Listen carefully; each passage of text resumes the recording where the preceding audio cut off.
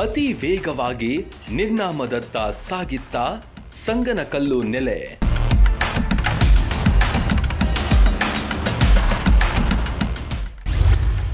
ಸಂಗನಕಲ್ ನೆಲೆಯ ಉತ್ಖನನ ಬಗ್ಗೆ ಆಸಕ್ತಿ ಬಂದಿದ್ದಾದ್ರೂ ಹೇಗೆ? ನಾನು ಸ್ಕೂಲ್ ದಾರಿಯೊಳಗೆ ಎದುರುಗಡೆ ಸಂಗನಕಲ್ ಗುಡ್ಡ ಇರ್ತಿತ್ತು. ಆ ಸ್ಕೂಲ್ ಬರೋವರೆಗೂ ಆ ಗುಡ್ಡ ನೋಡ್ಕೊತ ಹೋಗ್ತಾ ಇದ್ದೆ. ಸಂಶೋಧನೆ ಮಾಡುವ ಹಂಬಲದಿಂದಲೇ ಉತ್ಖನನ ಮಾಡಲು ಸಾಧ್ಯವಾಯ್ತಾ? ನಿಮ್ಮ ಸಹಕಾರ ಇದರಿಂದ ಈ ಕೆಲಸ ಆಗುತ್ತೆ ಅಂತ ನನಗೆ ಹೇಳಿದರು. ನಾನು ಅಂತ ಒಂದು ಅವಕಾಶಕ್ಕಾಗಿ ಕಾಯ್ತಾನೆ ಇದ್ದೆ.